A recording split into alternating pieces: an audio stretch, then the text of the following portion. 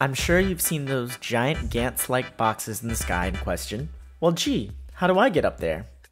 In this visual guide of Tears of the Idiot, me, not you of course, you'll learn how to enter the Sky Labyrinths and maybe snag some loot on the way without any trouble.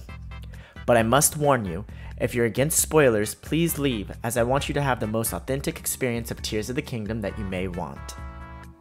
This guide assumes that you've been to the bottom portion of the land, not the depths, and completed their quests in their respective locations.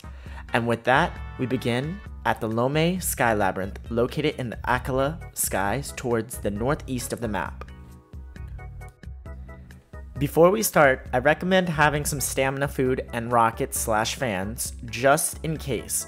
This guide is intended with minimalistic supplies in mind.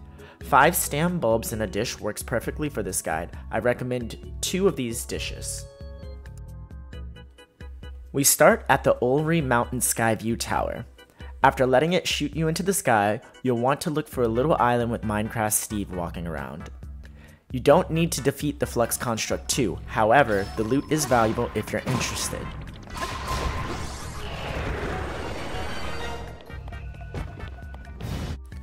Luckily, this area has prepared us with everything we need, but it's not quite a straight path. Look for the platform connected with a bunch of fans and a battery. Attach the remaining batteries that are in the area to create a flying machine capable of reaching the next area.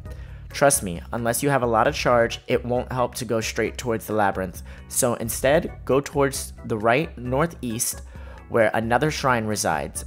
I recommend activating it if only to return in case of mistakes.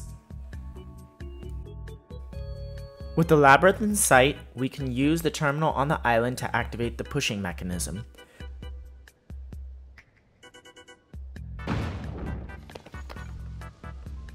Use it to jump towards the next platform where you'll see a Zonai on a hovering machine.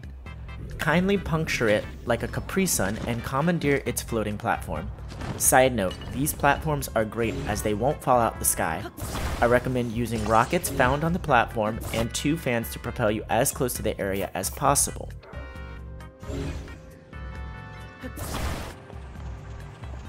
Eventually, you'll need to glide the rest of the way. For this, make sure if you don't have enough stamina gauges, that you come prepared with stamina consumables.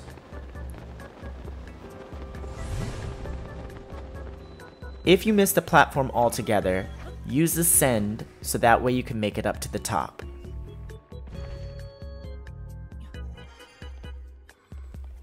Now I won't spoil what's inside of the labyrinth, however, you'll be tasked with finding four labyrinths, and once you do, it'll open up a path where you can dive from the sky all the way down to the depths for some juicy treasure.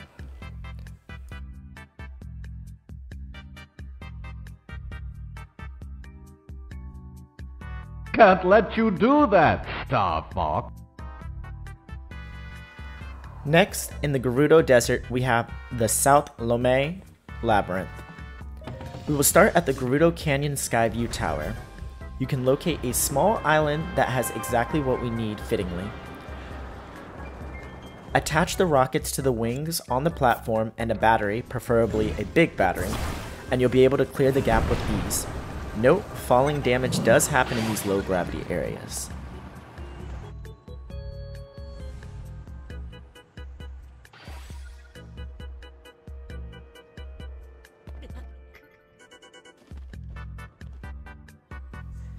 Same as the previous dungeon, you'll be tasked with finding 4 more terminals before being rewarded with a one-way trip down to Yamcha Town.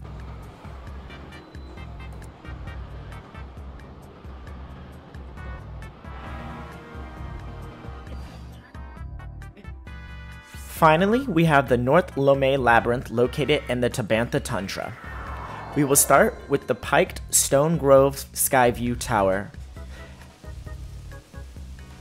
Head towards the Sky Islands in the direction of the labyrinth and you'll find a bunch of floating platforms. Use the rockets to get you to the Zonite Gacha machine and another shrine.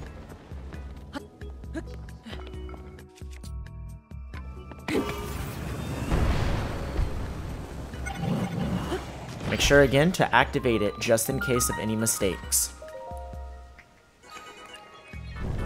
From this platform, you can use the push machine on the island to go back into any of the floating platforms that you may need. I recommend placing the floating platform behind the gacha machine and adding two fans and some rockets. Make sure the rockets propel you upwards and in case you didn't get enough, you can actually add a rocket mid-flight.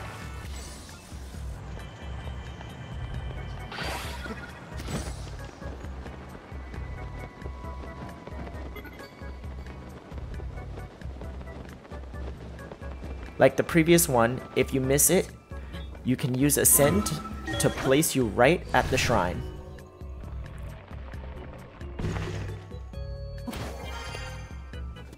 Another four terminals, and you have another dive to Yamcha Town.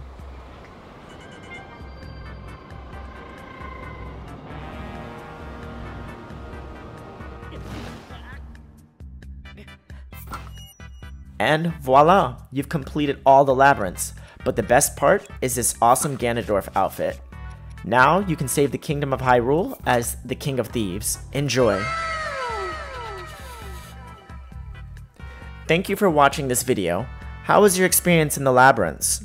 Are you interested in this content? Consider liking and subscribing for more Zelda content, as well as other game-related content. It's been your boy Clutchmaster, and we'll see you in the next video. Clutchmaster out.